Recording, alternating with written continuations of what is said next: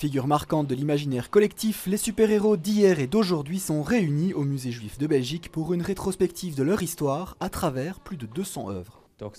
Cela parle de personnes avec différentes expériences qui arrivent dans une société actuelle et ils ne font qu'un, ils se protègent entre eux et je pense que cela est vraiment louable. Ce média euh, euh, permet de véhiculer d'autres euh, valeurs et, de, et justement de mettre, de mettre en lumière des choses qui parfois ne sont pas dites dans, les sociétés actuelles. Ce que peu de gens savent par contre, c'est que ces super-héros sont eux aussi un peu juifs via leurs créateurs dont les familles avaient immigré aux États-Unis.